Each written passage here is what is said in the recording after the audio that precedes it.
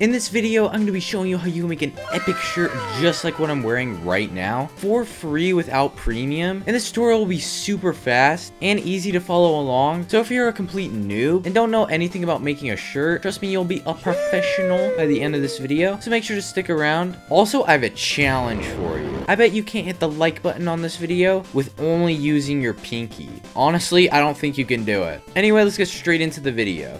So the first thing that you want to do to make your Scrumdiddly shirt is you want to go to create. And I'll take you to this page right here. And if you don't see this page and you're on another screen that looks like this, then the fix to that is you need to have Roblox Studio downloaded. So anyways, what you want to go ahead and do is go down to shirts. And once you press on it it will bring you to this page right here. And the first thing that you're going to need is you want to press on this link right here so that you can get the template for your shirt. So you just want to right click on it and press save image as and once you have it saved, you want to go to a website called Photopea. I'll have it linked in the description down below. And just go ahead and press open from computer and get the template.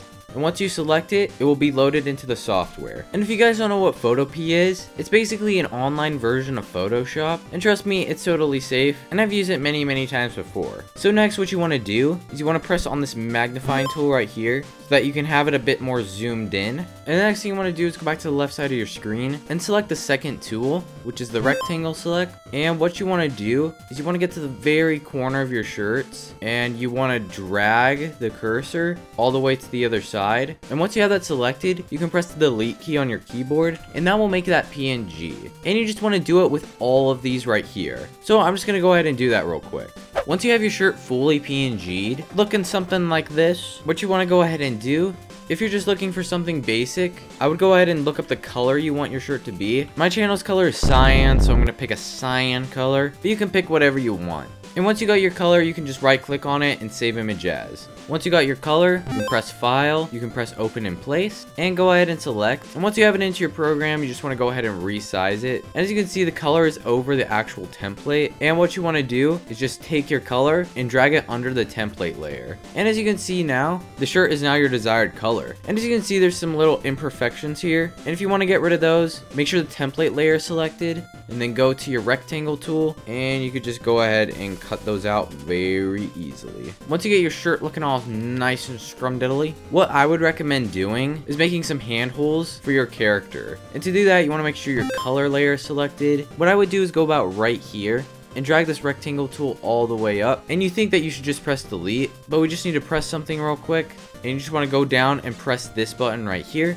And as you can see, it will make this bottom part PNG and keep everything else we selected. And anything that's PNG will make the skin show on your character. Now it's time to get into the fun stuff. So I'm going to go ahead and make a shirt that says subscribe on it. So what I'm going to do is I'm going to go ahead and press file then I'm going to press open in place and then go ahead and find my subscribe button. But if you want to put something else in, just go ahead and put whatever you want in there. So I'm just going to position this exactly how I want it. And then once you're done, you can press this check mark and I'll have it in the right position for you. I'm also going to add this cursor right here just to make it a little bit more professional. Then you can just press the check again. And as you can see, that already looks really good. You can also add whatever you want to the back, to the arms, or whatever you want. But I'm just going to go ahead and leave this for now. But I think this looks good and this is what I'm going to use for my shirt. So what you want to do to save your shirt template is go to file, press export, and then press PNG, and then just go ahead and press save. And it'll go ahead and download for you. And now what you want to go ahead and do is go back to the develop page, go ahead and press choose file, and then select the template and make sure to change your shirt name. And as you can see, it costs 10 Robux to upload, but there's a super simple way to get a quick few Robux for free. So if you want to get some quick Robux fast, go sign up for a Microsoft Rewards account and do all of these tasks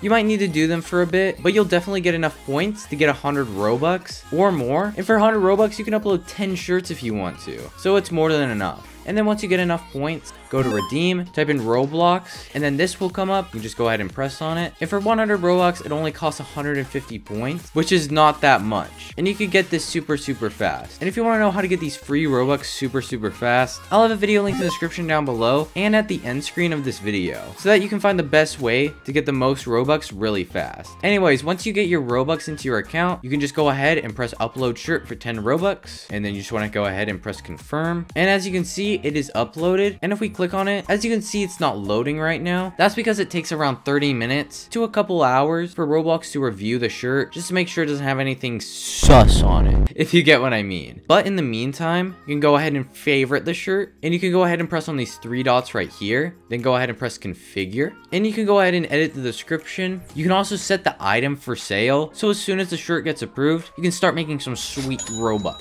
So if you want to set it for sale, just go ahead and press this right here and you can go ahead and set the price for whatever you want. But just remember Roblox takes 30%, so just go ahead and set your price accordingly. I'm only going to set it for 10 Robux and you can just go ahead and press save. And as you can see guys, the shirt is finally uploaded. And as you can see, it looks pretty nice, honestly. Let me just go ahead and equip it on my avatar. Sheesh, I look clean. And if you want to buy the shirt, I'll have it linked in the description down below if you want to support me a little bit. And this is the shirt in game as well, looking pretty sweet. So helps out to make your own shirt on Roblox. And if you want to figure out how to get that free Robux, so you can upload these shirts for free, go ahead and click on this video right here and it'll take you straight to it.